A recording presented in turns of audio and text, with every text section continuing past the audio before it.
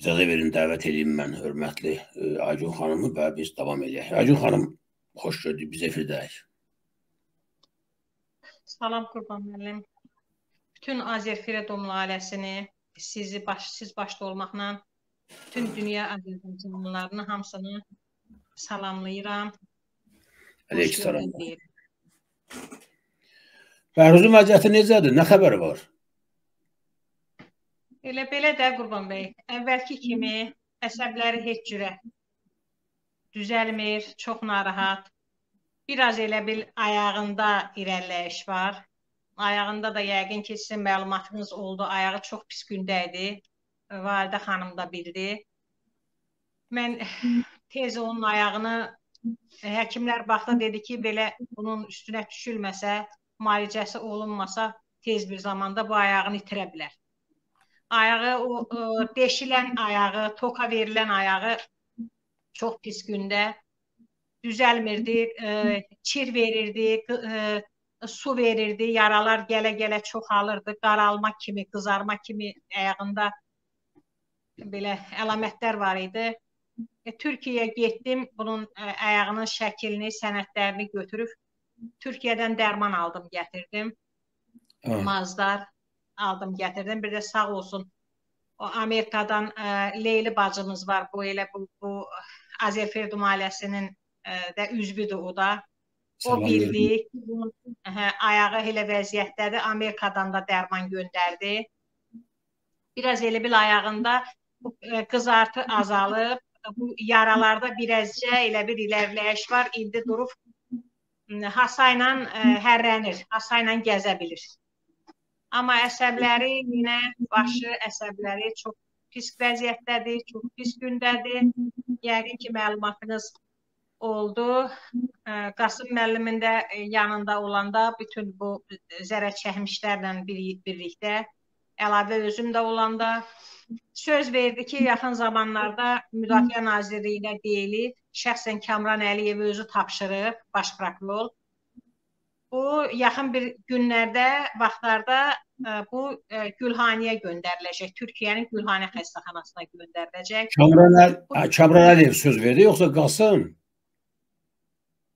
Ə, e, Qasım müəllim ə, Kamran Əliyevə deyib. Bir də ki, ə, mən elə bil ki, bir ay yarım, 2 aya yaxın bundan qabaq ə, baş prokurorluqda ə, müavini var, general ə, Eldar, familiyasını bilmirəm Eldar müəllim. Onun qəbulunda oldum.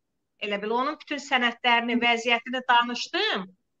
E, Eldar müəllimə. O da getdi, e, e, kam, mən gözlədim onun otağında. O getdi Kamran müəllimə dedi, e, gəldi. Dedi ki, hə, dedim hamısını başa e, e, də dedim başa düşdü. E, dedi ki, Qasım müəllimin yanına getsin. E, Qasım müəllim e, ona deyəcəkdi də nə lazımdırsa. Mən də Qasım müəllimin e, e yanına gəldim dedi ki, hə, Kamran Əliyev mənə tapşırıq verdi. Bəhruzun özünün vəziyyətinin şəkillərini, ayağının şəklini, özünün vəziyyətini, əvvəlki vaxtının vəziyyətini, indiki vaxtının vəziyyətini hamısını elə bir çəkin, mənə göndərin. Mən ə, şəxsən onu da təqdim eləyəcəm ə, Kamran müəllimə. Onu da göndərdim. Elə sonra bu yaxınlarda gedəndə o qəbul eləyəndə də bu zərər çəkmişlərlə birlikdə. Onda dedi ki, məlumatımız var, tapşırıq verilib, bu yaxın vaxtlarda Gülhaniyə göndəriləcək. Hələ də ki, heç bir ə, göndərilmə, heç bir bu irəliləyiş, nə, heç bir məlumat yoxdur. Mən də bu 4-5 ildə ə, belə gözləyirdim, surdum, çox elə çıxıb e, bildirmirdim ki, dünyanın hər yerindən bu kanala baxırlar. Bizi istəyən də var, istəməyən də var. Düşmənlərimiz çoxdur. Mən bunu çox elə bil abartmayım, çox deməyim ki, e, bəlkə də bu sağaldılacaq, buna bir e, bir maraqlanan olacaq bundan. Demək istəmədim. Mən bunu tez-tez naftalana e, Qurban bəy, naftalana müalicə aparıram onun ayaqlarına görə. Orada dünyanın hər yerindən özünüz bilirsiniz də Naftalan böyük bir sanatoriyadır. Bizə yaxındır. 5-10 dəqiqəlik yoldur. Orada onun ayaqlarına baxanda, özünün vəziyyətinə baxanda, orada bütün dünyanın hər yerindən gələn hər millət orada sual verir ki, bu erməni əsirliyində olubdu. bu cavan erməni əsirliyində olub. Bunun neçə yaşı var? Deyirəm ki, bunun 33 yaşı var. Deyir, siz nə danışırsınız? Bunun 70 yaşı var. Bunun 60-70 yaş rahat yaşı var. Siz nə danışırsınız? 33 yaşında cavan bir, belə vəziyyətdə olar. Mən orada deyirəm ki, yox, erməni əsirliyində hə olubdu, erməni əsirliyində olub. Demək deyə bilmirəm ki, bunu öz bu hərbiçi olub, vətənini, dövlətinə 10 il xidmət eləyib. Döyüş bölgəsində xidmət eləyib bu 10 il. Xidmət elədiyi vaxtda er, düşmənlə üzbəüz postda bunun başına torba keçirdib, əlini qolunu bağlayıb, aparıb bunu öz ermənilərimizin qabağına tullayıb. Bunu bu vəziyyətə qoyublar öz öz hərbiçi yoldaşları, öz hərbiçilərimiz. Bunu mən deyə bilmirəm. Deyə bilmirəm, nə bilim özümə belə sığışdıra bilmirəm. Bunun atası da 90-cı illərdə Geranboy batalyonunda komandir rota işləyib, xidmət eləyib uzun müddət. Bir qarış da Geranboy torpağından bir qarış da düşmənə verməyib. Aprel döyüşlərində özü iştirak eləyib. Bu 44 günlük müharibədə də qardaşı gedib iştirak eləyib. Evimizdə 3 nəfər kişi, üçü də bu müharibə başlayandan tutarana kimi canlarını qoyub bu vətən torpaq uğrunda, bu millət uğrunda. Mən nətər deyim ki, bu xarici dövlətdən gələnlər, bu düşməni də var, istəyəni də var, istəməyəni də var. Bunu mən necə deyim ki, bunu mənim öz millətim, öz hərbim, öz müdafiə nazirliyim eləyib bunu. Mən bunu indiyənə kimi deməmişəm, saxlamışam. Efirlərdən çox deməmişəm ki, bunu hər yerdən, dünyanın hər yerindən izləyirlər.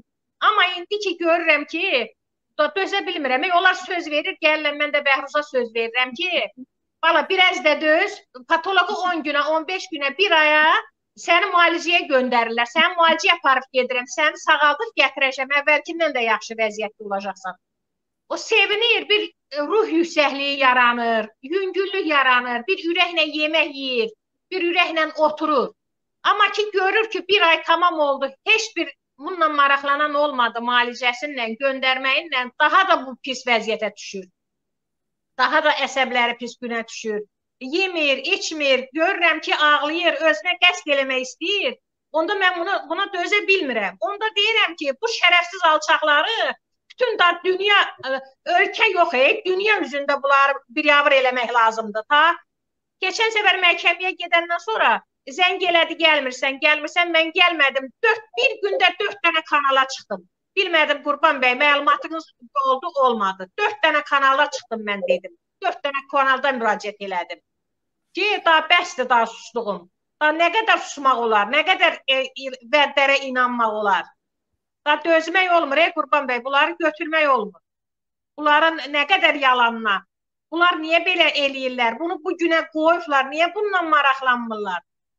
Axı axı bu canlı qoyub bu bunların bunu bu bu günə qoyanın evladlarından ötürü, özlərindən ötürü, nəsil nəcabətindən ötürü bu gedib canlı qoyub. Ata da canlı qoyub, qardaş da canlı qoyub, özü də canlı qoyub.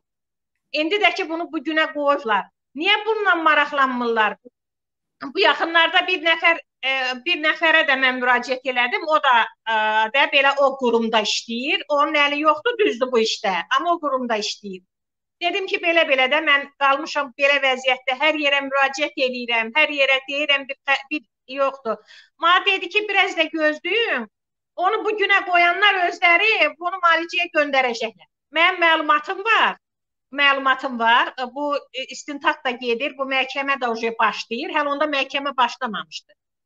Bunlar məcburdular, bunu bu günə qoyublar, bu vəziyyətə salıblar. Bunlar bunu müalicəyə göndərəcəklər.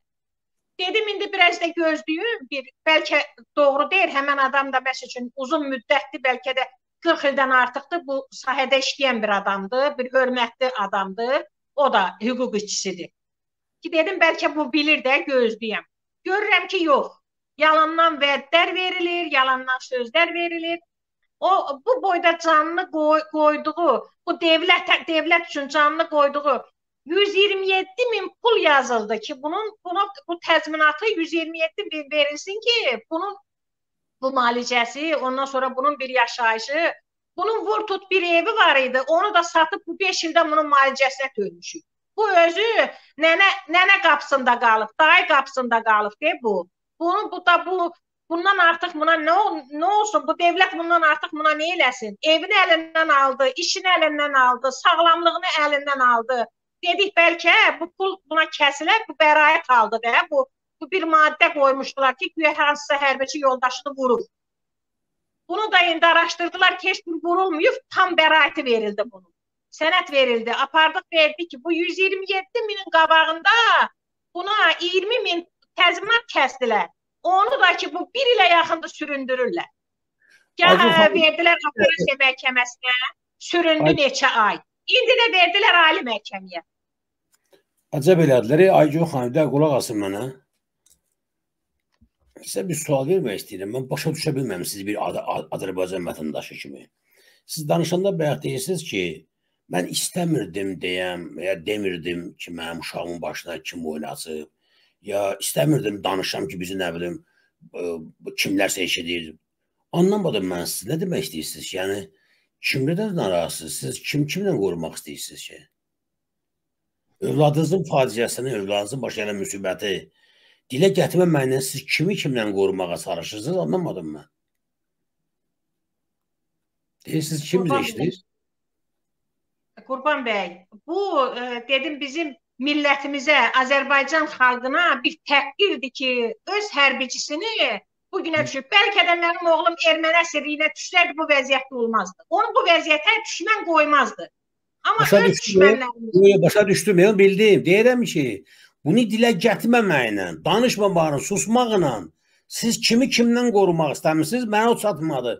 Deyin xalq bilsin, mən də bilim. Anam, Çünki sizin bu dediyiniz indi tutduğu mövqe var ha. O qədər bir xəstə mövqedir ki, o qədər yanlış bir mövqedir ki, mənim millətimin çoxunu cinayətkarlar belə tərbiyə eləyirlər. Deməli, cinayətkar lon soxub öldürür. Cinayətkar sənin övladının həyatını məhv eləyir. Sonra səni inandırır ki, ayıbdır ha, demək xaricdən işlərlər, ermənilər var, Avropa var, işlərlər ayıbdır, dövləti biabr eləməyin. Və siz də bunu inanırsınız. Bir ana kimi neçə vaxtı da danışmırsınız ki, mən bunu danışmıram ki, bir kimsə inciyər. Siz kimi qoruyursunuz? Kimi? Sizin üçün kimdir əziz olan? Övladınız, onun sağlamlığı, həyatı, yoxsa da binamus məmurun vəzifəsi? Siz kimi müdafiə edirsiniz? Başa düşmədim. Kimi kimdən qoruyursunuz? Ay mənim bacım. Mənə çatmır e, sizlərin mövqeyiniz. Mənə çatmır. Ay millət, ay mənim millətim.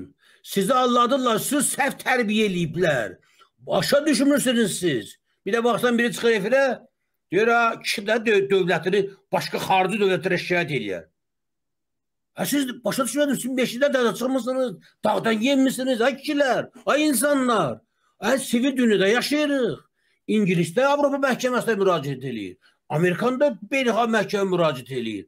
Anlamadım. Deməli bir adam vecini almadan lon soxub öldürməlidir, zorlamalıdır, istədiyi eləməlidir. O dövlət düşünməməlidir ki, ay ayıbdır. Beynəlxalq aləm var, görürlər biz biabır olarıq ki, mən ordumu belə zorluyuram. Onu vezin olmamalıdır. Zorlanan adam, alçaldıran, təhqir olan adam isə güya dövləti fikirləşir. Dövlətçilik üçün narahatdır. Ay mənim bacım, ha, bu dövləti sən qoruyursan, anlamadım. Sənin övladın ölüm ayağında, həyatın məhv eləyiblər. Sən hələ nədən danışırsan, deyirsən ki, mən dövlətin biabır olmasın deyə danışmıram. Danışmayın bundan sonra da. Bundan sonra ayıbdır, danışmayın. Ayıb, ayıb bacım, Hacı xanım. Danışmayın, ayıbdır. Nə danışır? Siz biabır ediniz bizim dövlətimizi. Siz hakimiyyəti biabır elədiniz. Qoyun uşağınız ölsün acından, sağalmasın, şikəst qalsın ömrü boyu. Siz dövləti niyə biabır edirsiniz? Ayıb deyil mi belə? Siz nə danışırsınız? Mən söz tapa bilmirəm, mən sizə deməyə. Siz deyirsiniz ki, yüzlərlə, minlərlə Azərbaycan vətəndaşı bu gündədir. Övladını öldürüblər, özünü yandırıblar ki, danışma ayıbdır. Sən birdən utanmırsan da xarici dövlətə şikayət edirsən. Ay millət, nə qədər cahil və nadar olasan ki, hüququnu müdafiə eləməyi sənə eyb kimi inandıralar. Və sən də bunu inanasan. Ya bu düzdür belə aparasan. Acib xanım danışır mən əsəblərim yerindən oynayır. Adamın balasını öldürüblər. Yarımcan eləyiblər. E, yox deyə Bəhruz yoxda kişilər, ay millət. Bəhruz dağ boyda oğlan sağlamlığı gedib əldən. Əsəblərə mənə gəlmir. Adam evlənməyib, evlənmə imkanı yoxdur. Hər şey gedib əldən. Anası dövləti fikirləşir. Anası dövləti güya fikirləşir ki, sən demə danışsa övladı var da dövlət biabır olacaqdı. Anlamadım. Siz nə danışırsınız? Bu nə yanaşmadır? Bu nə valideyni? Bu nə an anadağı? Siz bilmirəm, mən söz tapa bilmirəm, üzr istəyirəm. Validə xanım buyurun. Axşam xeyir Qurban bəy, hər birinizi salamlayıram. Bizi dinləyən bütün dünya Azərbaycanlıları kimliyindən, milliyyətindən, vəzifəsindən asılı olmayaraq haqqı yanında olan hər bir kəs buradan salamlayıram. Axşamınız xeyir olsun deyirəm, nə yaxşı ki varsınız. Bəli, e, Qurban bəy, həqiqətən də Agün e, xanımı elə belə onun timsalında milləti bilirəm, başa salırsınız, amma bizi həqiqətən də belə tərbiyə olunmuşuq. Ailədə də ə, var ki, ailələr var ki, olmazın zulmuna, olmazın üstünə gəlir ki, ayıbdır, dərdini açıb demir.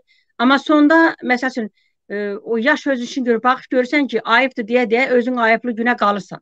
Amma indi bu həyat, bu tərtər faciəsi elə bir iş, elə bir anlama gəldi ki, baxın görün siyasətçilər də çıxıb. Bu anadır, bu o siyasətçilər də çıxıb deyir ki, ayıbdır bizim e, e, qalib ordumuz haqqında niyə danışırsınız? Biz tutaq ki, biz savatlı Nə ayıbdır, ay bacım, nə ayıbdır? Bunun nə ayıbdır?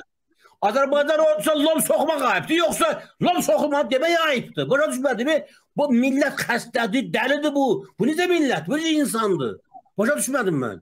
Deməli, rüşvət almaq ayıb deyil. Baxın, rüşvət almaq ayıb deyil. Azərbaycan bayrağının üstündə Azərbaycan polkovniki zorlamaq iki kişi ilə, biri daldan, biri qabaqdan, üz istəyirəm hamını zorlamaq ayıb deyil. Amma bunu dilə gətirmək ayıb buymuş. Ay kişilər siz nə danışırsınız? Siz desə ayıb nə olduğunu anlamırsınız, nə bilmirsiniz sizə də.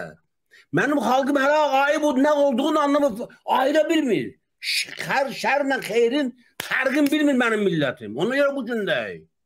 Ananın övladı ölmə ayağında öldürüblər. Ana, baxın, güya dövləti fikirləşir. Hansı dövləti? Bəli. O söz dövləti sən qoruyacaqsan. Yox. Dövləti sən qoruyacaqsan. Ay kişinin qızı, sən nə danışırsan? Ay mənim bacım. E, sənin övladın ölüm ayağında, sənin övladın diri-diri ölüb. Diridir, ölü də amma ruhan. Ay kişinin qızı, sənin övladın məhv ediblər.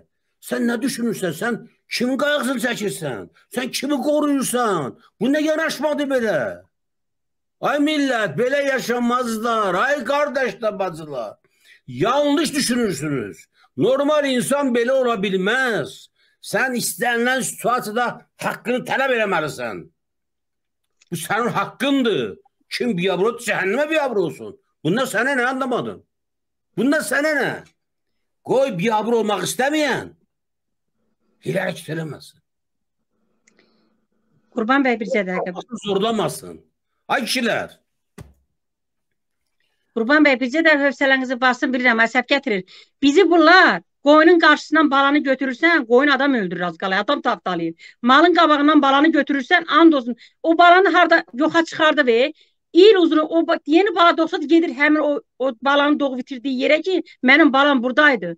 Toyuğun qabağından bunu mən dəfələrlə deyirəm, həmişə deyirəm, sağ-sağanı balanı götürür, qarğı olsun, gücü çatan qədər ana toyuq, toyuqcul balasını güya xilas eləyəcək o göydə uçan quşun əlindən. Amma bunlar bizi elə bir tərbiyə eləməyə çalışırlar ki, Qurban bəy, mən bunu hələ 17-ci ildən Babək Səmidli o e, həyat yoldaşı öldürülənlər olsun, övladı öldürülənlər olsun, elə onları e, cinayətkar öldürən biz bilmirdik. O vaxtı düzünə qalası olsa bunu Babək Səmədli eləyib Hikmət biz onu bilmirdik. Elə bilirdik ki, elə o 5 nəfər, bir 3 nəfər bir bunlarmış qatil. Nə baş verdiyini bilmirdik o vaxtı. Onu da deyim sizə. Amma e, təsəvvür edirsiniz, axırda bir gün uşaqlara, qızlara dedim ki, ay qızım, bir mən müxalifə, mən müxalifə həqiqətən tanımırdım Qurban bəy. Heç kəsi tanımırdım. Allah hamd olsun mən heç kəsi tanımırdım. Deyirdim, deyirdim, ah bala, mənim övladımı öldürəni kim öldürürsə, mən bunu tələb edirəm. Mən deyəcəm, yaxşı eləyib öldürmüsən. Müxalif bu deməkdir ki, başa salırdım. Müxalif bu deməkdir, sənin tutduğun əmələ, durduğun yerdə səni burada 5-6 dənə qap hazırım. Sən mənə deyəsən, yaxşı eləyib vurdun. Sən mənə qarşı çıxarsan, ay valda xala, mən neynədim ki, sən məni vurdun? Mənə müxalif çıxarsan. Bax, mən bunları belə başa salırdım. Qurban bəy, bizim e, o belə deyək də, mən bir o qədər qınamıram. Vaxt var, siz dediyinizin hamısını Aygün bacım özü bilir, saatlarla danışmışam, hələ əsəbləşmişəm də ki, ayrı heç bir şeyə görə yox. Bala ananın ə, e, qarşısında bala varsa, heç bir şeyi nəzərə almamalıdır. Heç bir şeyi, nə öz həyatını, nə yerdə qalanların həyatını. Siz təsəvvür edirsiniz, e, Qurban bəy heç nəyələr çatmadı. Bir də Tərtər hərbi məhkəməsində o katibinə mənə eşitdirmək niyyəti ilə. O birdən Emini də düşün. Bu sözü mənə atdılar. Demək heç nə deyə bilmirlər. Qarşıma çıxa bilmirlər. Emini də düşün. Dedim həm birinci olsun, həm axırıncı olsun. Emin bu saat hal-hazırda əli, qolu, ayağı açıq evin altında öz-özü müdafiə eləmək qabiliyyətindədir. Amma mənim elçinim canın adına qurban veribdi. Emini yox. Yerdə qalan bütün nəslimi doğrayası olsanız, kim nə eləyir eləsin. Mənim neçə ki ayağım yer tutur. Dilim söz tutur, məni heç kəs dayandıra bilməyəcək. Bir dəfəlik hər kəs bunu dərk eləsin. E, Qurban bəy, onlar hər bir variantı əl atırlar. Bu qatil sürüsü çox gözəl. Sizin əsəbləşmə bax, inanın Allaha, e, Agün bacı özü bilir. Hələ efrət çıxmamışdan qabaq danışmışıq. O vaxt eyni ilə siz göstərdiyiniz danışdıqlarınızı mən Agün bacımla danışmışam.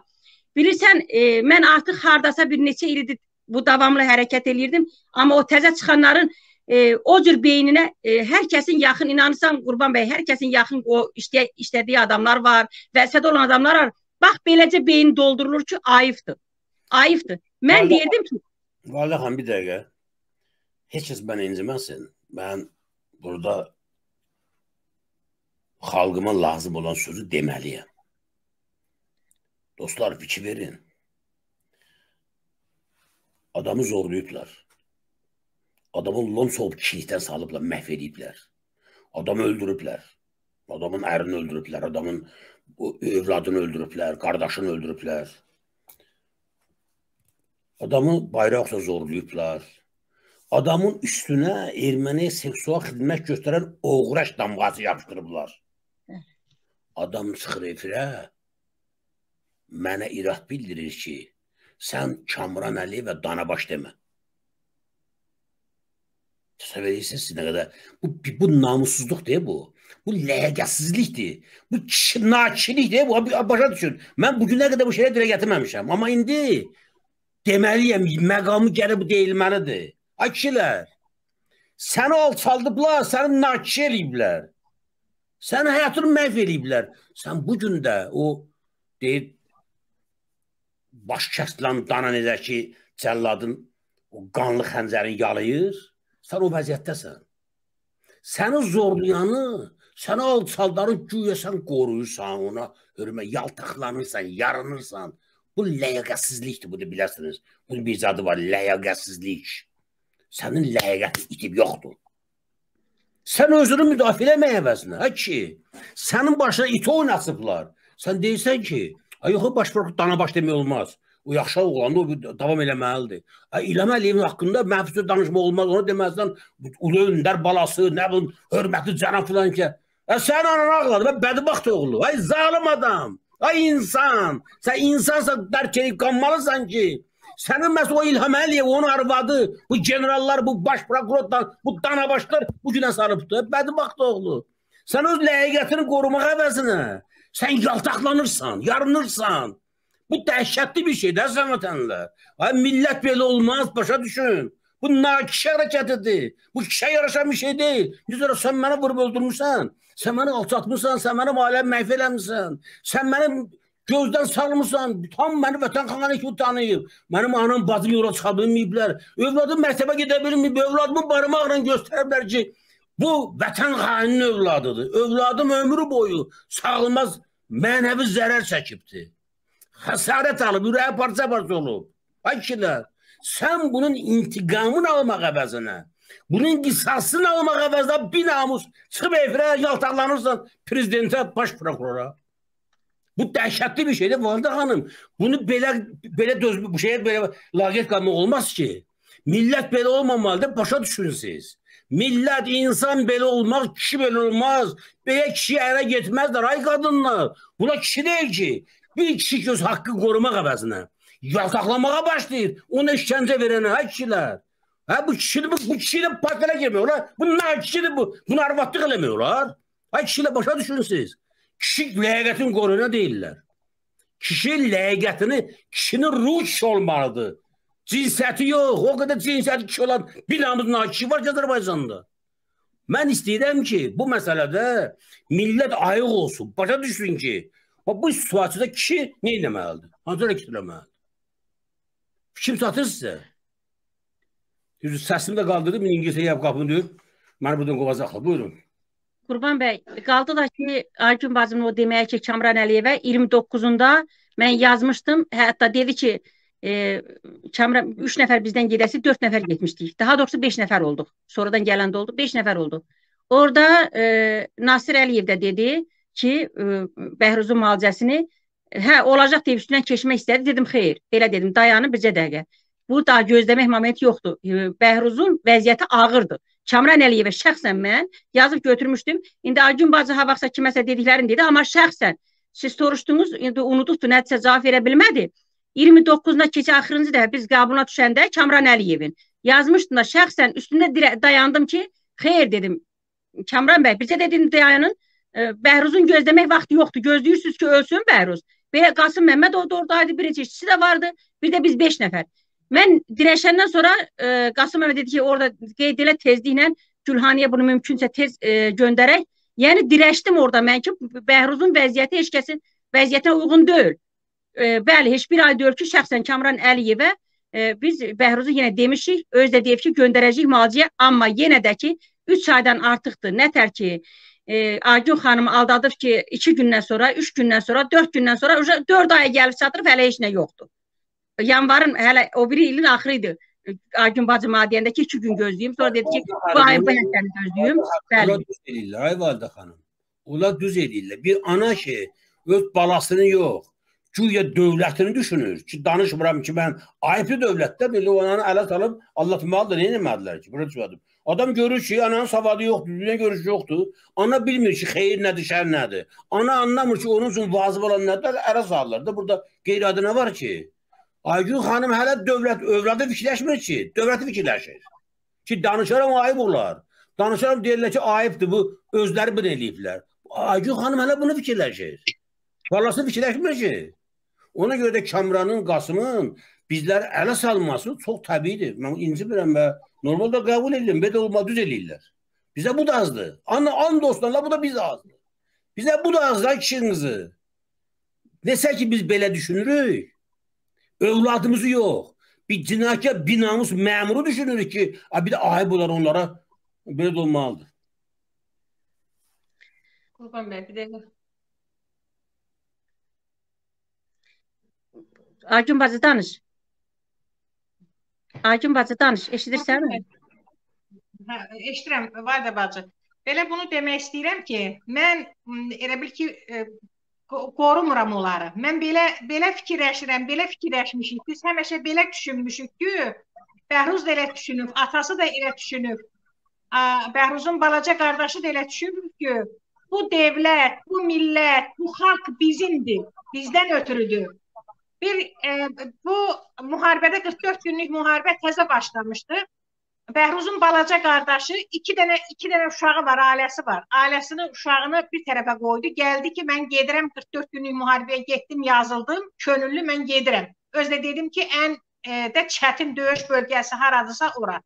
Həmin vaxtı Murov istiqamətində döyüşlər gedirdi. O çoxlu şəhidlər verilən istiqamətdə.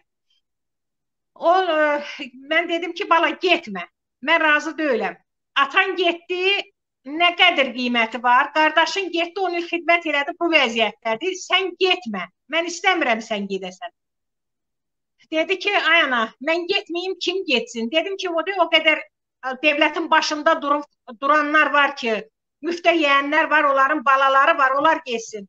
Dedi, onların dövləti o yoxdur. Onların vətəni yoxdur, onların milləti yoxdur, onların imkanı da var, hər e, dünyanın hər yerində evi də var. Onlar gedib hər yerdə milyardlarını götürüb gedib onları orada yaşaya bilərlər. Onlardan ötürü millət, vətən e, yox kimi bir şeydir.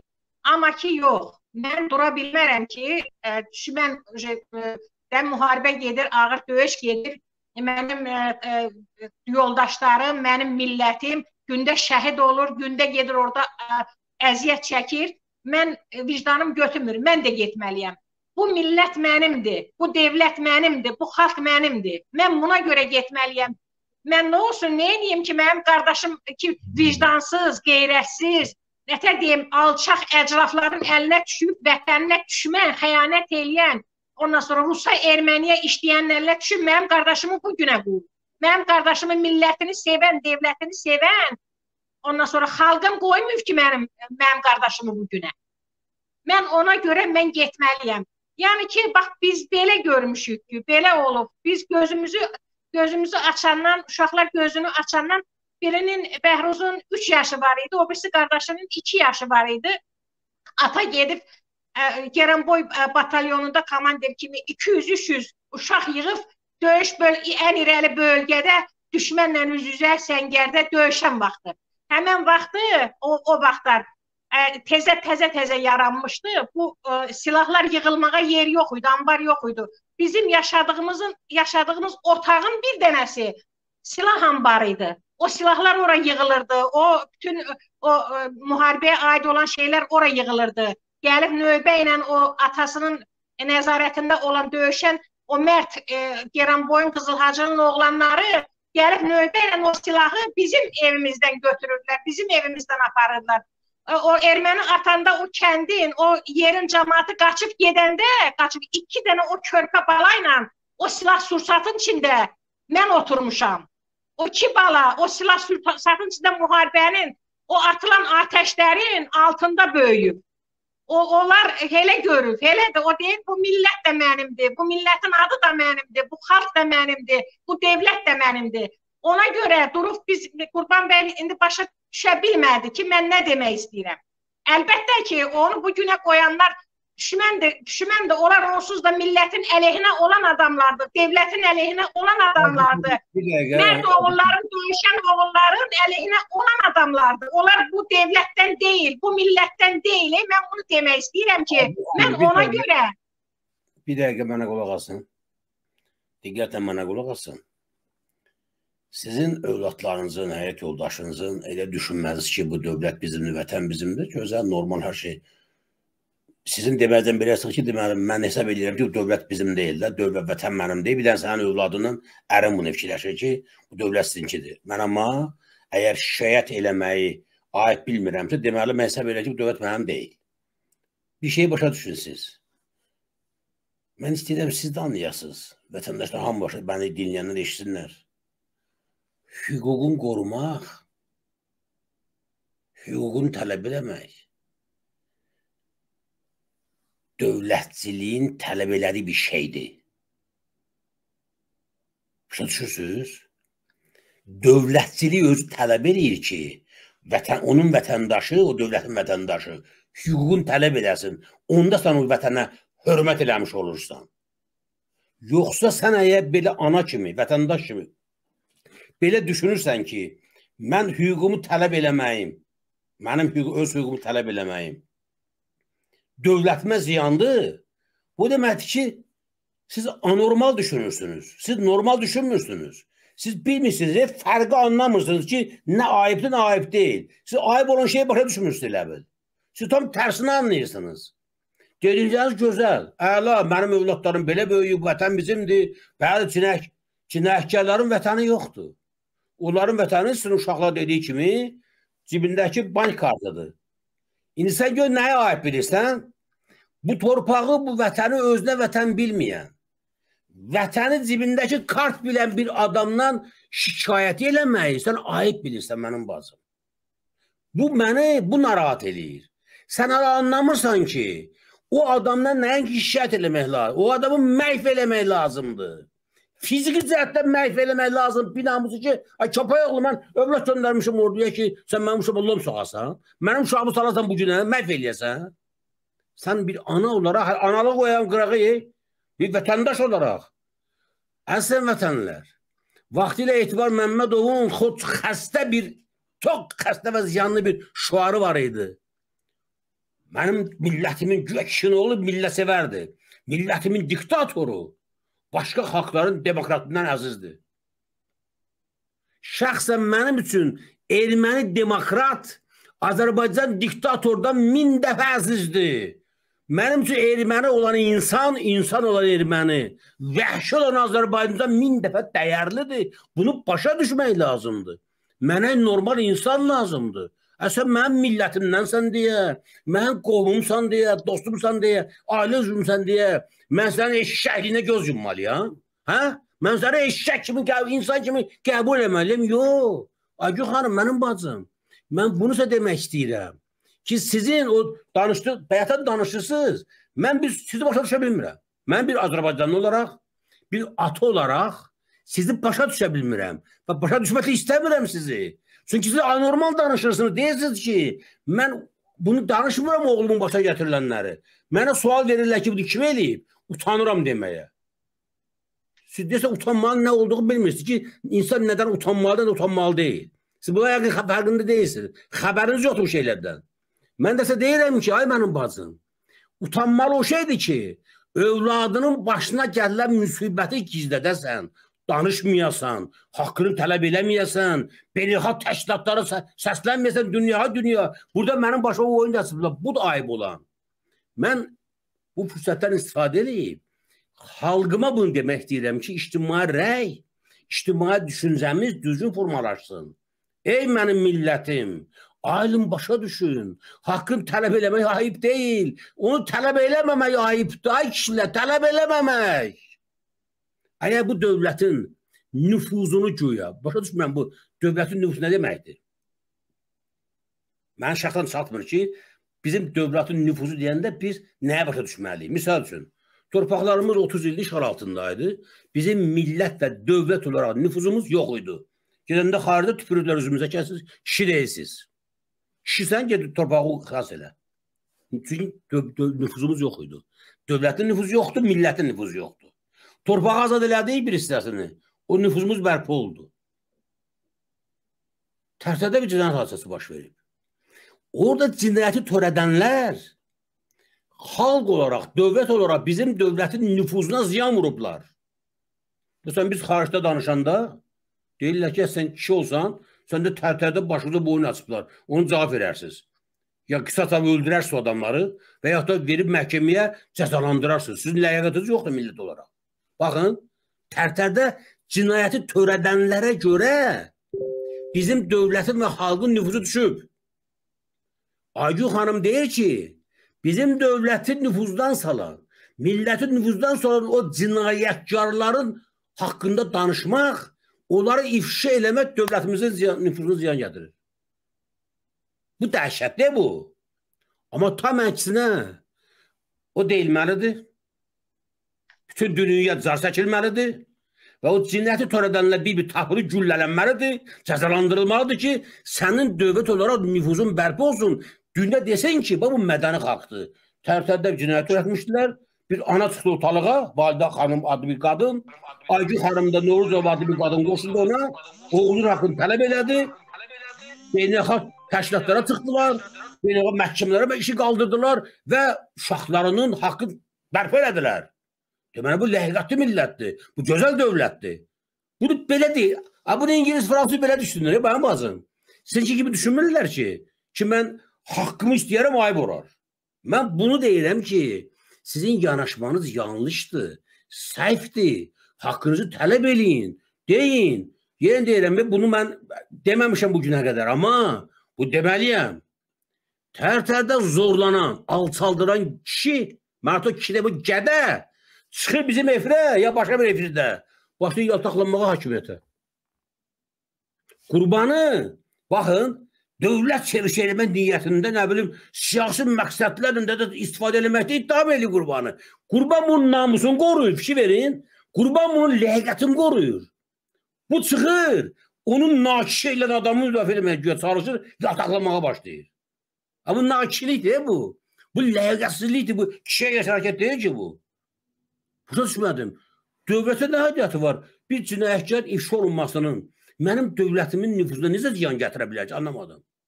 Bax, bir ordu generalı, bir prezident cinayət eləyibdi. Minlərlə əskər və zabiti zorlayıb işgəncə verib öldürübdü. Bu adamın if ifşa olunması dünya miqyasında, nə ölkə daxilində mənim dövlətimə necə ziyan gətirə bilər?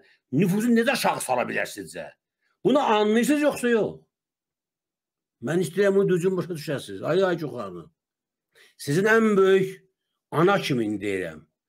Səhviniz orada oldu ki, siz vaxtında validə xanım kimi Çıxıb efirlərə övladınız haqqını tələb eləmədiniz. Hətta bu gün də yenə bir oyun içindəsiniz. Sizi kimsə inandırıbdı ki, danışma. Bax danışsan 20 min verilməyəcək, danışmasan 20 min veriləcək. Bu gün sabah, bu gün sabah səni alladırlar. Ələ salırlar. Doluyurlar sizi. Ki danışma, haqqı tələb eləmə, göndərəcək müalicəyə. Danışma, nə eləmə, bunu belə eləyəcək. Bəs siz hələ ayrılmamısınız bu 6 ildir. Bəs bu, bu illər ərzində ayrılmadınız ki, Azərbaycanda hakimiyyət zad yox, dövlət yoxdur. Sizi incidirlər, alçaldırlar. Sənin övladını əlindən alıblar, ay mənim bacım. Sən nəyin peşindəsən? Sən kimi qoruyursan? Övladını yoxsa cinayətkar məmurları? Sənin üçün kim əzizdir? Öz balan, yoxsa sənin balanın məhv bu qədələr? Nəysə.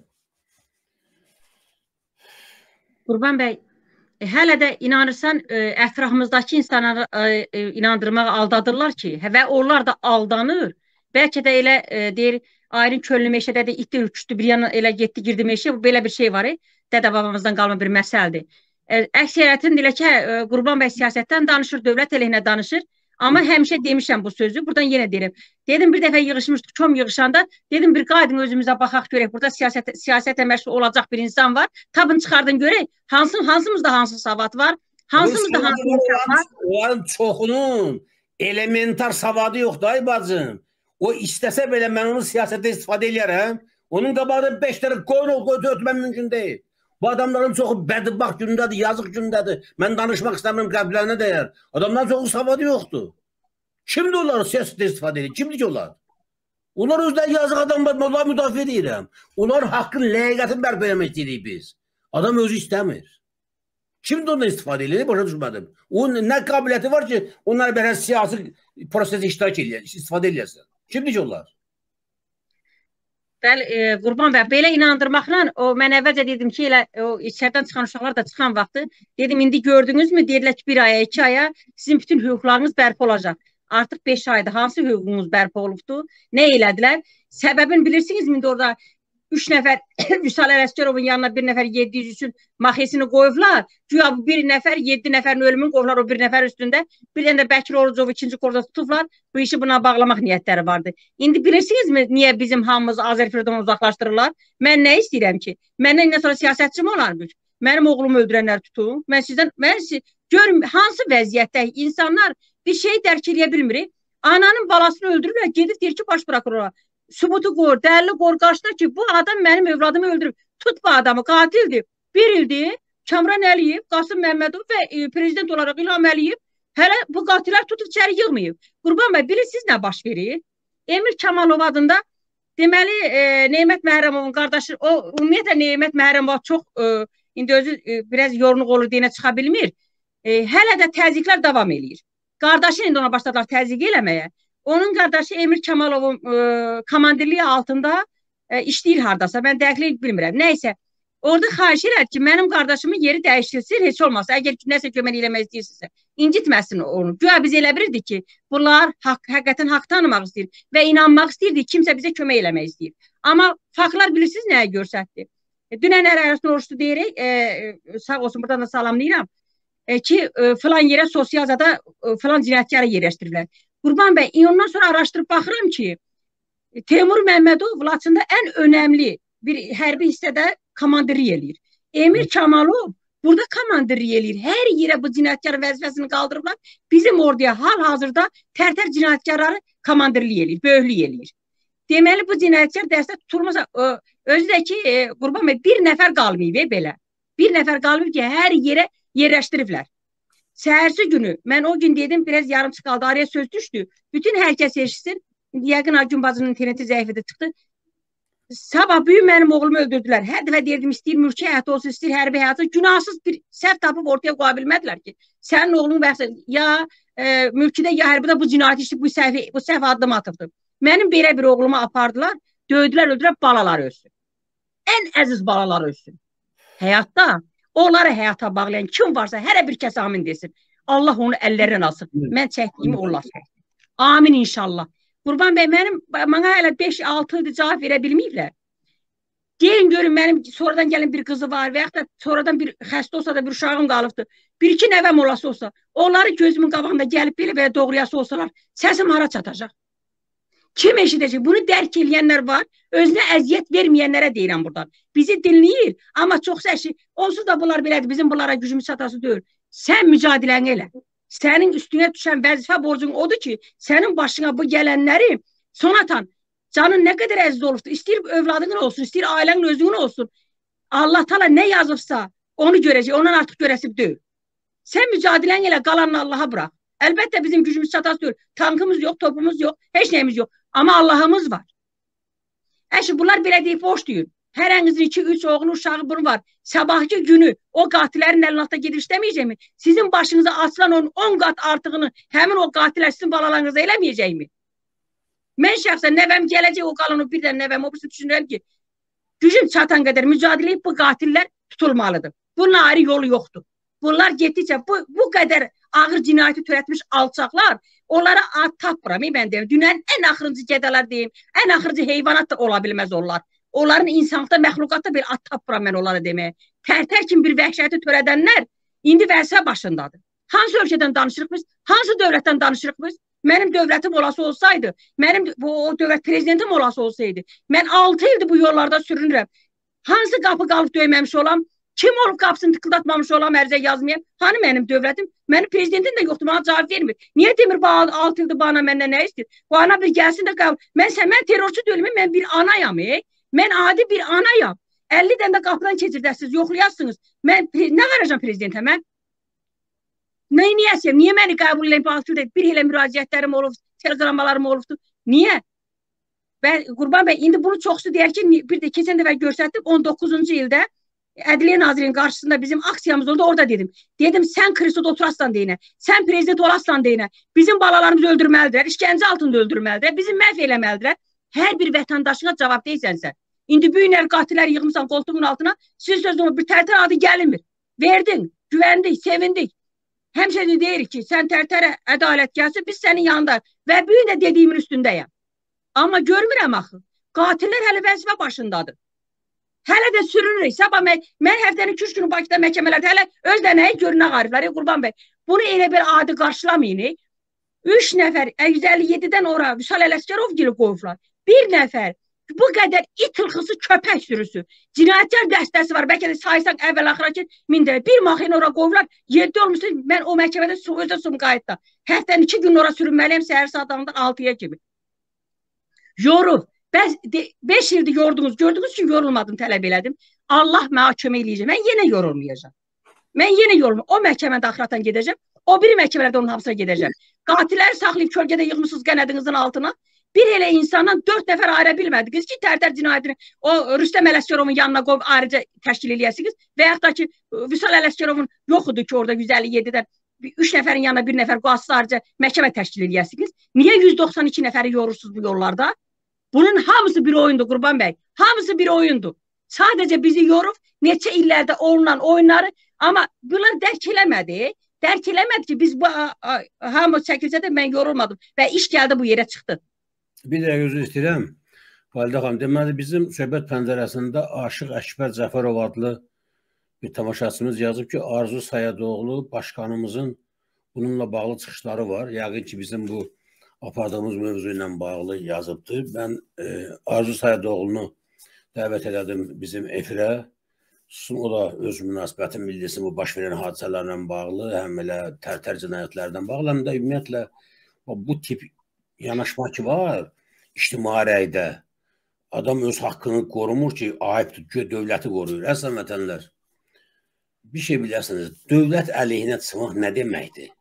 Necə olur dövlət əleyhinə çıxmaq? Məsələn, Azərbaycan dövlətinin əleyhinə mən necə çıxa bilərəm bir vətəndaş olaraq? Bir dövlətin əleyhinə çıxmaq üçün əlinə silah alıb, top, tank topda o dövlətin ərazisinə hücum eləməlisən dövlətin əleyhinə başqa çıxmaq mən növ tanımıram. Yəni bir dövlətin əleyhinə çıxmaq üçün ya onun ərazisini işğal eləməlisən, ya onun vətəndaşlar öldürməlisən. Şükürlər nə validə xanım, nə mən, nə başqaları hələlik o işi görmək eləməmişik. Və yaxud da oturub qəzetlərdə daim bir dövlətin e, normal dövlət olmaması olmadığı, bir dövlətin mütləq dövlət olaraq aradan qaldırılmasının zəruriliyi barədə təbliğat aparırsan, elmi məqalə yazırsan, bunda deyirlər ki, filan kəs filan dövlətin əleyhinədir. Yoxsa bir dövlətin daxilində qanunsuz başlar gedirsə, cinayətlər törədilirsə və bir vətəndaş da kimsə də çıxıb o cinayətkarları ifşa eləyirsə, buna dövlət əleyhinə çıxmaq demək deyil. Bizdə faciə ondadır ki, İlham Əliyev hamını inandırıbdır ki, dövlət mənəm. Bunu deyir, utanmadan deyir bu. Həyasızcasına bunu deyir İlham Əliyev. Dövlət mənəm. Nə vaxt nə istəyirəm o deyəcəyəm. Hər şey mən bilirəm, mən bilirəm, mən eləyirəm. Vətəndaşların da bir çoxun beynində dövlət deyəndə İlham Əliyev canlanır. Ona görə bəziləri fikirləşirlər ki, İlham Əliyevin əleyhinə danışmaq dövlətin əleyhinə çıxmaq deməkdir. Bu doğrudanmı belədir? Siz belə mi düşünürsünüz? Bu belə mi olmalıdır? Hər halda bu suallara Arzu Səyədoğlu da aydına gətirir, özü mövqeyini deyər. Arzu bəy, xoş gördük.